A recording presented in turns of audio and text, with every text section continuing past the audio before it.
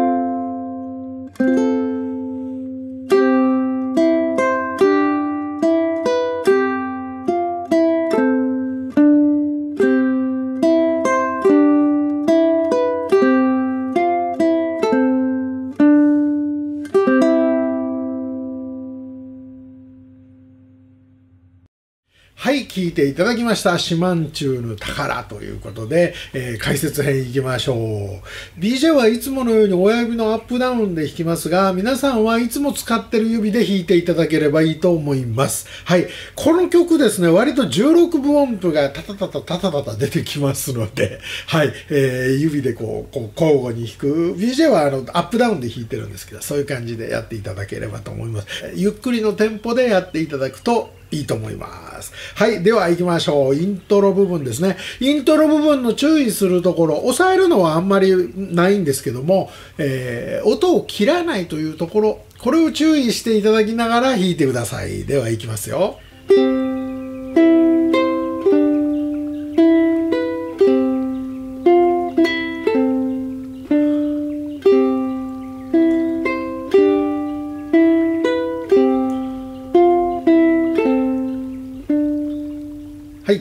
ですね。音を切らないと言っても、同じ弦の別のポジションで弾くと、開放の次2フレットなんてなると、開放の音が消えるんですけど、これは仕方がないとしても、それ以外のところはなるべくつなげる。コードが変わるときは外して、そのコード内では切らないというイメージですね。はい、それでは A メロの部分いきましょう。これ16部が結構入ってくるんですけど、ゆっくり弾いてみましょうね。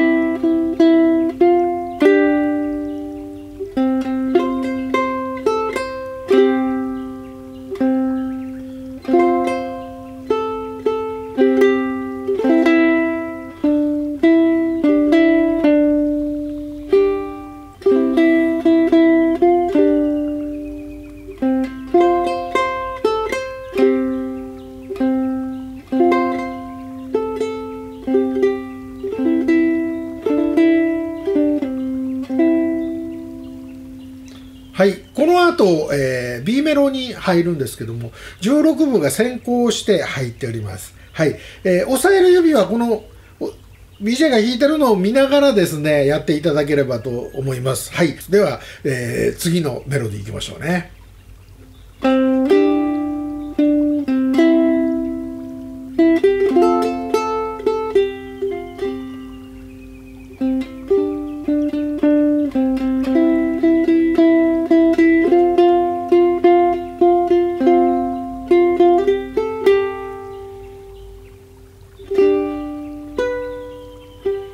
はい、これ G のコードで全部音をつなげるようにしていただきまして、この後サビに入ります。サビなんですけども、だいたいこの G のポジション、ここで人差し指だけを離すとか G のコードの指が基本になってます。最初の C の部分でも薬指で3フレット押さえてで次小指いって中指。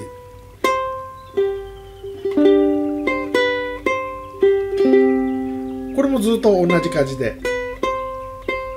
でここだけちょっと変わります。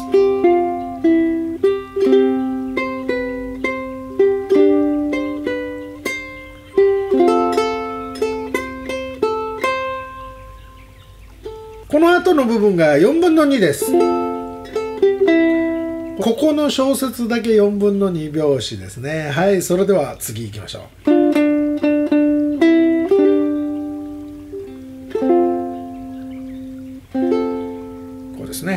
はい、えー、ここまでいったらですね次はエンディングなんですけどもイントロと同じフレーズです。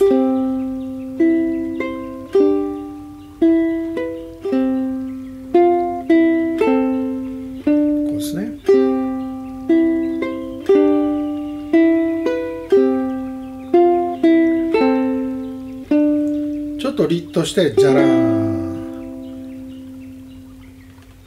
四万中の宝行きました。はい。えー、実際はですね、このまままた A メロに戻って、それをもう一回戻ってずっと来て、四万中の宝、四万中の宝、四万中の宝で終わるような感じでいいと思うんですけども、同じ繰り返しですので、このまま繰り返していただければと思います。まあ、これぐらいさらっとやって終わるぐらいの短さでもいいんじゃないかなと思います。はい、DJ のウクレレ講座、今回は四万中の宝、えー、インストバージョンですね、お送りいたしました。えー、指はですね、えー、わかりやすいように今回テナーウクレレでちょっと解説してみたんですけども、はい。えー、ちなみにマーチンの50年代のスタイル1、えー、テナーのウクレレなんですけど、なかなかいい音してますよね。はい。えー、指の押さえるところですね、一応ダウンロードしていただく譜面、まあこちら有料になるんですけども、押さえる指書いときました。はい。まああの、指見ていただくと、えー、大体わかると思います。はい。よろしくお願いします。また別の動画でお会いしましょう。さようなら。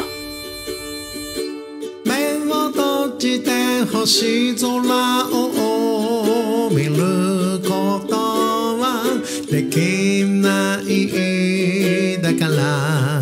今は瞬きももったいないと。